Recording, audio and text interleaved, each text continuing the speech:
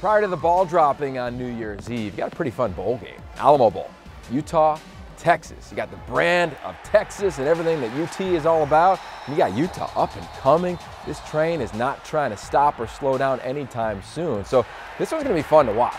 Look at Utah, and they're coming off the worst game of their season, the Pac-12 title game against Oregon.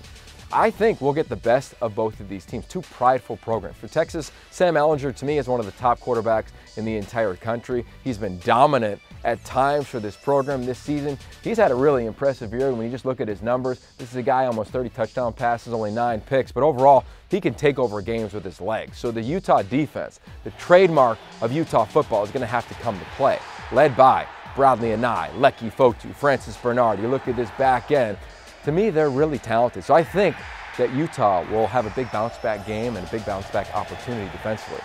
Offensively, same deal for Tyler Huntley, coming off his worst game of the season. How does he finish? A lot of NFL teams have been calling me about Tyler Huntley, asking about his ability to the next level. He's got a chance on a huge stage to play well. I'd expect him to do just that.